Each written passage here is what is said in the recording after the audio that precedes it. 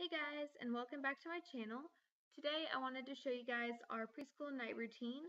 Hayden goes to school Monday through Friday, so this is what our average night looks like on a weeknight. My husband is a firefighter, so he's gone every several days for 24 hours. So some nights he's there and some nights he's not.